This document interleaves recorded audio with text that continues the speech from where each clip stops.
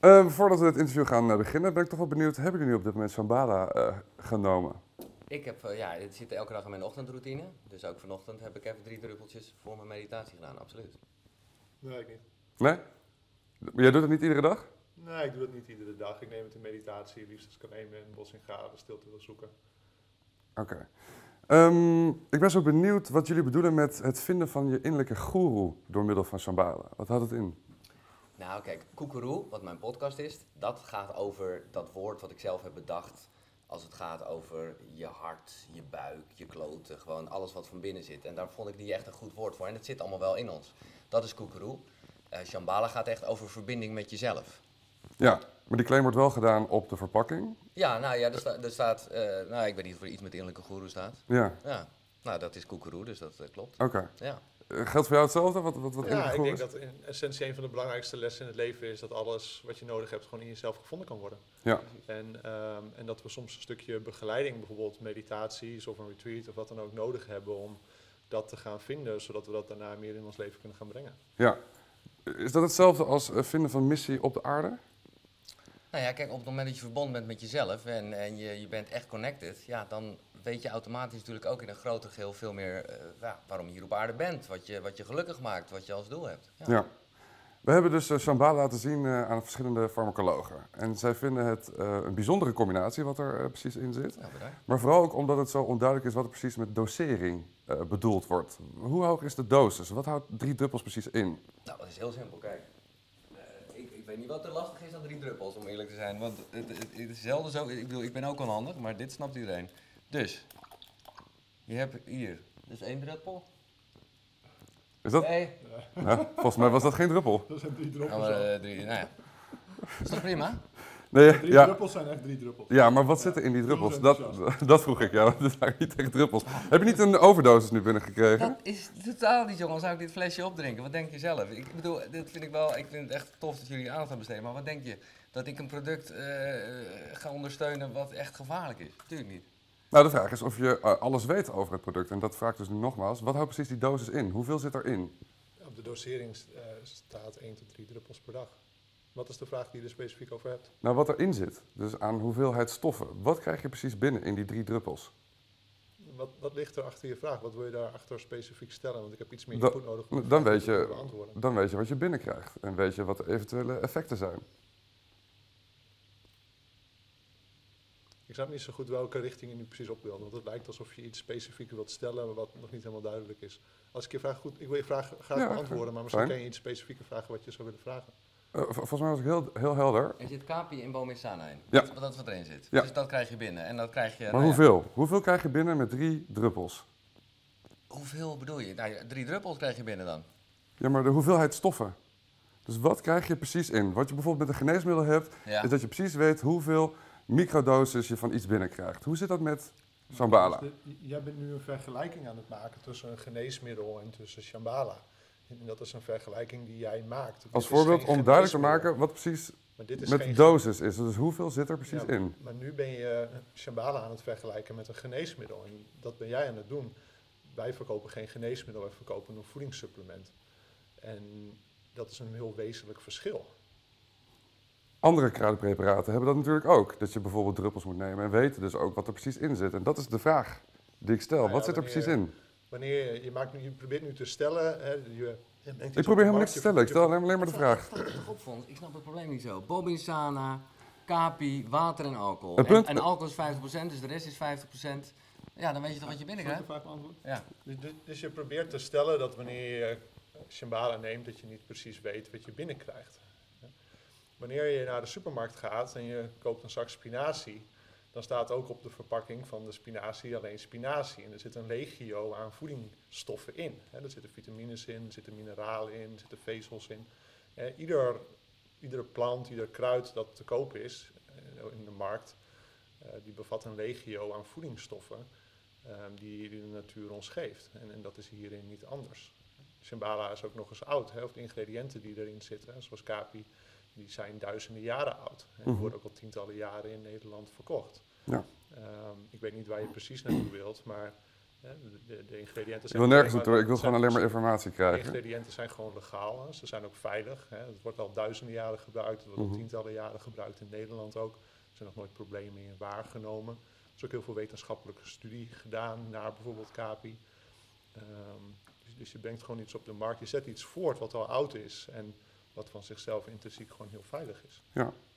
Eh, bijvoorbeeld over Capi, wat er dus in zit. Ja. Het is nog steeds dus niet helemaal duidelijk hoeveel stoffen er precies allemaal in zit in drie dubbels, maar we gaan even door op Capi.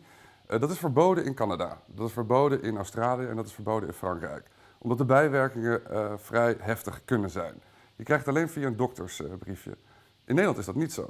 Dus daarom is de vraag nogmaals, weet je precies hoeveel Capi eigenlijk erin zit? Ja, dit is een, ik bedoel, ja, ik ben eh, geweest in Zwitserland waar het gemaakt is. Het wordt geëxtraheerd. Ja, ik weet dan niet hoeveel takjes er precies in gaan, maar precies wat eh Jesse zegt, dat weet je nooit. Kijk, dus je probeert te stellen dat omdat CAPI illegaal is in, in sommige landen, dat het onveilig wellicht zou zijn. Mhm. De, eh, het is aan de wetsmakers in Nederland om te stellen of dit verkocht mag worden. Zij hebben gesteld dat het verkocht mag worden. Eh, het is dan ook al een oud product. In, de, in de toxicologie is een, een van de wetten, de Parese wet, die stelt dat niks een medicijn is of een gif, dat het altijd de dosering is die dat bepaalt.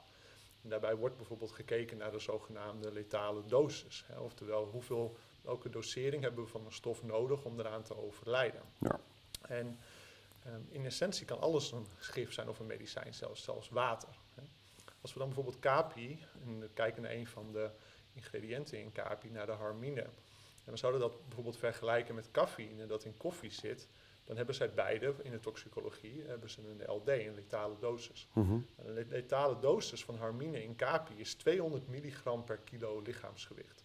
Maar de letale dosis in, van cafeïne in koffie is 192 milligram per kilo lichaamsgewicht. Mhm. Dat betekent dat de letale dosis van cafeïne in koffie hoger is dan die van harmine in capi. Mhm. Nou, dan daarnaast krijg je ook nog eens heel veel meer cafeïne binnen in de koppen koffie die wij drinken of in de energy drinks die, die we drinken, dan dat we binnenkrijgen als we 1 tot 3 druppels capi of shambhala per dag binnen zouden mogen krijgen. Dus wanneer je kijkt naar de veiligheid van het product en je vergelijkt het bijvoorbeeld met koffie en de cafeïne in koffie, dan is de letale dosis is van, van shambhala en van dus de capi die daarin zit en de harmine, de actieve stof die daarin zit, is veel lager Mhm. dan die van cafeïne in koffie. Ja, maar als je een kopje koffie neemt, dan kan je natuurlijk niet je innerlijke goeroe vinden. Dat kan wel met Shambhala. Nou, je zou ook kunnen gaan zeggen, ga met koffie mediteren en vind je innerlijke goeroe. Ja, dat lukt zelfs ook, Giel? Nou ja, ik bedoel, laten we wel zijn. Ook cafeïne. eh, oh, oh, eh, dit zijn natuurlijk allemaal planten en, en daarmee medicijnen. Ik bedoel, dat was voor mij ook echt een eye-opener. Dat, dat waren twee werelden. Je planten, je hebt medicijnen. Maar uiteindelijk zijn al die medicijnen natuurlijk van planten gemaakt. En dat is wel heel erg wat ik geleerd heb in mijn innerlijke reis van de afgelopen jaren. Dat planten je daar zo bij konden, kunnen ondersteunen. Mhm. En dat is precies wat Shambhala ook doet. Zo ben ik ook eh, ja, in contact gekomen met degene die dit voor mij gemaakt heeft. Omdat ik met hem zat te praten. En hij wist mij gewoon haarfijn uit te leggen hoe elke plant wel een reden had in de natuur. En, en hè, planten die dan op de grond groeien. Daarvan zei hij, oh, dat kan wel goed zijn voor je spieren. Want dat moeten dus hele flexibele planten zijn. Dus ik vond het fantastisch. En zo raakte ik met hem in gesprek. En ik kaartte mijn eigen probleem aan. Namelijk dat ik vanuit mijn jeugd heel erg snel uit verbinding raak met mezelf. En dat eigenlijk niet door heb. Dus daar zat ik met hem over te praten. En toen kwam hij, onder andere met Capi, wat een, ja, letterlijk een verbinder is, in de natuur ook, een, een, liaan. En eh, ik, ik vond het fantastisch, zeker omdat hij zei van ja, maar daar moeten we nog wel iets aan toevoegen. En hij kende dat van Zuid-Amerika, ik was er niet mee bekend, Bobinsana. Wat daar heel erg wordt gebruikt op het moment dat je een belangrijke beslissing neemt binnen een stam. En dat opent je hart. Dus de combinatie van je hart openen en verbinding met jezelf. Ik zeg nou, ik wil het proberen. En dat is wat ik gedaan heb. Hij heeft het voor mij gewoon eh, gemaakt. Ik ben het gaan proberen. En ik, ik had niet gelijk dat ik dacht, oh, eh, wat werkt het. Maar na drie weken dacht ik, nee, shit, wat zit ik er lekker in. Ja. En dat was voor mij een reden om te denken, ja, dit wil ik delen met de wereld. Dit, dit is gewoon waanzinnig. Eh, en daarmee ben ik het helemaal met Jess eens. Het is niet iets nieuws. Het zijn producten die hè, al, al, al lang gekocht worden en al duizenden jaren zelfs. Maar voor mij was het wel echt een toevoeging om dit aan een groot publiek mee te geven. Voor mensen die misschien helemaal nog niet zo bekend zijn met microdosing, die ook net als ik nog nooit hadden gehoord van Capi. En bij wie het gewoon echt een toevoeging heeft. Ja. Nou is dat natuurlijk jouw ervaring en die is subjectief. Nu breng Ja, nu breng je het op de markt. Ja, en inmiddels En- ben ik heel blij mee, want het is, je hebt gelijk. Dat is ook wat ik zelf zie zat van, hé, hey, bij mij heeft het gewerkt. En dan weet je het Giel niet. die houdt het ook gewoon heel goed bij zichzelf. En ervaring is altijd subjectief. Ja. Als naar de sportschool gaan, mensen kunnen het haten, mensen kunnen het leuk Ja, vinden. maar dat is natuurlijk anders als je bekend bent en je gaat op een gegeven moment een product ook proberen te verkopen.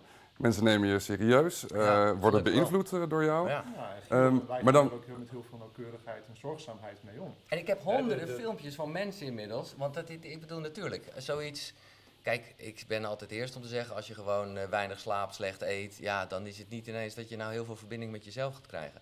Maar als je het meeneemt in dat proces, nou ja, heeft bij mij Shambhala geholpen. En ik ben super dankbaar dat inmiddels heel veel andere mensen eh, dit ook hebben gevonden. En, en ja, me echt uit vanuit de grond van hun hart bedanken. Ja, maar dan ga we je... gaan gewoon met heel veel zorgzaamheid en aandacht om. Hè, met, eh, ehm, met wat Giel stelt. We, we bieden een begeleidingsprogramma aan, een meditatieprogramma aan. Mensen, we geven aan dat het gaat om je eigen verantwoordelijkheid. We geven de dosering aan die meer dan veilig is. We brengen iets op de markt wat er heel erg oud is, wat, niks nieuws is. Alleen de Mhm. bekendheid die wij er nu aan geven is wellicht nieuw. Ja. Ehm, ja, we wijzen mensen op hun eigen verantwoordelijkheid in, eh, daarin. Maar kan dat? Mag je dat zomaar verwachten van de gebruiker? Dat zij precies weten hoe ze dit middel juist moeten gebruiken? Dan moet je er natuurlijk vanuit kunnen gaan dat de producent of jullie als promotor, eh, dat je de juiste informatie Ja, daar meldt. kunnen ze ook op vertrouwen, dat hebben we ook gedaan. We Nou, dat, daar staat er bijvoorbeeld op de website dat een eh, shamanistisch dieet wordt eh, voorgesteld. Mhm. Alleen het hoeft niet. Je hoeft niet per se zo'n dieet te volgen. Mhm. Terwijl de farmacologen zeggen ook weer, als je shambhala neemt met combinatie kaas, Nee. brood, Nee, champagne, nee. gerookte zalm, dan krijg je gewoon effect. Namelijk bijwerking, hoge bloeddruk, misselijkheid, et cetera. Dat staat er allemaal Ja, niet. nee, maar dat is ook niet Dat waar. hebben we zojuist uitgelegd. En, Ja. er, is, er, is, er is niks of fout, goed of fout van zichzelf. Het is altijd door de dosering die dat bepaalt. Hè. We hebben dat zojuist uitgelegd in, in, in Pare's wet. Hè. Niks is een medicijn, niks is een gif, het is de dosering die dat bepaalt. En er is gewoon heel veel wetenschappelijk onderzoek gedaan, ook naar CAPI. En, de, de, de letale dosering, en de lethal dose die ik net heb uitgelegd, die is Mhm. gewoon van, eh, van CAPI een stuk hoger dan dat die is van cafeïne in koffie. Mhm. En ehm, mensen zullen altijd, hè, de, hopelijk, hè, de bijsluitende instructies moeten lezen. We geven er veel aandacht in. En wanneer je dat doet, dan, eh, dan, Maar vind je niet dus dat de gebruiker je- beter gewaarschuwd moet worden? Dus voor dit soort producten? Want dan, wat ik dan vind, is dat de gebruiker bijvoorbeeld heel veel beter gewaarschuwd zou moeten worden voor bijvoorbeeld koffie en het gebruik ervan, het gebruik van alcohol, het gebruik van roken. Ja. Want je stelt gewoon. Als Maar je- daar hebben we het niet over, we hebben het over Shambhala. Nou, nee, maar jij, En- jij, jij maakt die vergelijking. Nee, nee, ik maak die vergelijking niet. nee, ik ik zeg alleen dat als je Ja, neemt, nou, en dat je dus dat niet moet combineren met kaas, brood, Nou, champagne nee, of en gerookte En zalm. om jouw vraag in perspectief te plaatsen, is dus. Ja, maar veel waarom, ga je niet, waarom kan je niet hier gewoon antwoord op geven? Door te zeggen, Omdat het niet zo is. Ik dit, ben moeten- antwoord aan het geven. dit moeten we melden op onze website, dat het geen goede combinatie is. Nee. maar dat doen wij wel. Wij, Wij- geven Wij geven sowieso, leggen we uit hoe je ook echt dieper kan gaan met een goede combinatie. Dat is een bepaald dieet. En wat jij zegt, ik vind het een beetje flauw dat ik notabene nu een wetenschapper moet gaan. Want ik, dat is natuurlijk totaal niet mijn business. Maar ik heb hier wel van gehoord, dat, dat cheese effect, waar mensen er bang voor zijn. Dat is inderdaad bij sommige andere producten waar een mao-remmer in zit. In dit geval hebben we het over Capi, een natuurlijk product waar die mao-remmer irreversible is. Dus dat hele cheese effect, je kan prima... Of reversible moet ik zeggen. Dus je kan gewoon prima kaas eten, champagne drinken. Ja, ik, zou, ik raad het niet aan.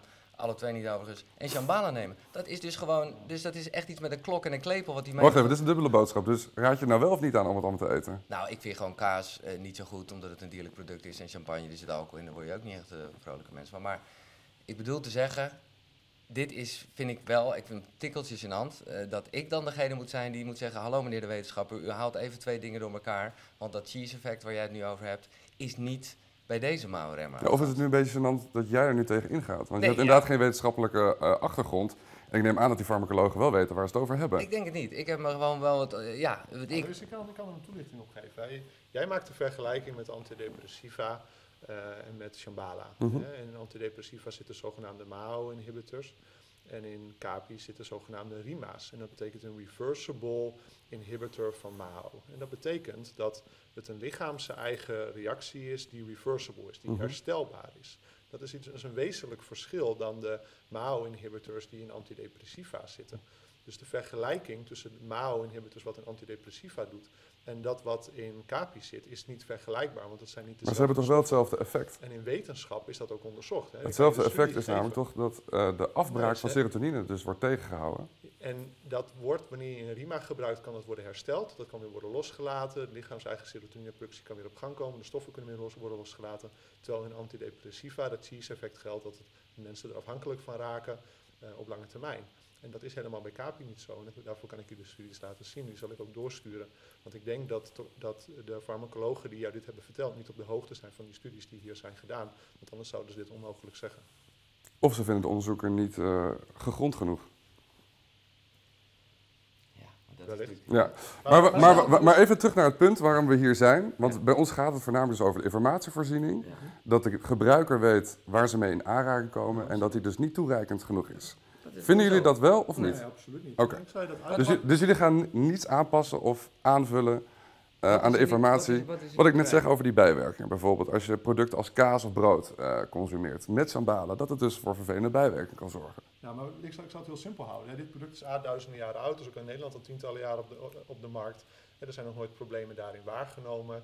we brengen iets op de markt wat veilig is, wat al heel erg lang bestaat. We geven daarover een, een duidelijke informatievoorziening. Um, wanneer uh, het nodig is en wanneer daar met onderbouwing een juiste vergelijking is. En uh, onze intentie is natuurlijk ook om iets op de markt te brengen wat veilig is. Mm -hmm. om, om, iets op de markt te brengen wat mensen dient. We ja. trachten nooit iets te doen wat onveilig is. Maar ja, wat ik zelf nog wel een beetje spannend vind, is dat jullie dus niet eens weten wat er precies in een dosis zit. Maar dat weten we heel goed wat er in een dosis zit. je kon de vraag net niet beantwoorden wat er precies in drie druppels zitten. Dus dan ga ik me wel afvragen, oeh, weten ze eigenlijk wel wat voor product er nu op de markt is gebracht? Nee, maar jij probeert steeds te blijven zeggen, je weet niet wat er niet in zit, terwijl dat niet stelt. Je kunt altijd stellen... Je Omdat je niet weet hoeveel je precies binnenkrijgt met drie druppels, toch? of je kunt voor ieder voedingsmiddel stellen, je weet niet wat erin zit. Het is net als hetzelfde met, met, het is niet per se wat erin zit wat goed of fout is. Het is de mate die het bepaalt. En daarnaast kan je dit voor ieder voedingsmiddel zou je dit kunnen stellen. Als jij stelt van je weet niet precies wat het doet, je weet niet precies wat erin zit, dan zou je kunnen stellen voor ieder voedingsmiddel dat hier op de markt wordt, wordt gezet. En je zou ditzelfde verhaal kunnen gaan maar houden. Maar is een voedingsmiddel? Nee, toch? Een voedingssupplement, ja, exact. dus een kruidenpreparaat, toch? Wanneer je, wanneer je dit gaat stellen, dan zou je dit ook kunnen gaan doen over spinazie. Hè? Dus zoals bijvoorbeeld ook wordt gedaan over spinazie. Ja, maar als je spinazie eet, op een gegeven moment raak je daar vol van. Maar dat heb je met Sambala toch niet? Nou, het is vooral heel giftig als je te veel planten eet. Dat is namelijk altijd. Dus dat is bij spinazie niet zo. En dat is een beetje het punt wat Jesse probeert te maken. Jij probeert echt het helemaal tot op de bodem, elke molecuul wetenschappelijk te hebben vastgelegd. Maar dat is bij geen enkel product uit de supermarkt. Dus dat is ook niet bij Shambhala. Sterker nog, dat moet je helemaal niet willen, want dat is het mooie van de natuur. De natuur is iets waanzinnigs. Er zit in een, in een plant, zit ja, het is een soort symfonie van producten. Waar wij als mensen misschien een paar dingen weten. Maar de hele symbiose tussen die dingen weten we niet. Wat wij wel weten nu, is, eh, nou ja, eh, wat al duizenden jaren bekend is, dat Capi als, als plantenmedicijn gewoon heel erg werkt om meer verbinding met jezelf in te gaan. Nou, ik weet niet, maar het lijkt me een goede tijd op deze planeet om daar meer mee bezig te zijn. Meer verbinding maken met jezelf? Meer verbinding met jezelf maken, ja. Want dat, en dat, ja, ik raad het je echt aan, Fons. Doe het drie weken, neem drie druppeltjes, gewoon precies zoals er staat. En... Ik word net als jij dan. Nou, dat, dat, dat, moet je zelf weten. Je wordt vooral meer als jezelf. En, en, en nog meer connected en grounded en gewoon wat meer, ja, ja. gewoon, eh, ja. Dus als conclusie, uh, jullie uh, gaan niet mee met de zorgen die de farmacologen hebben geuit?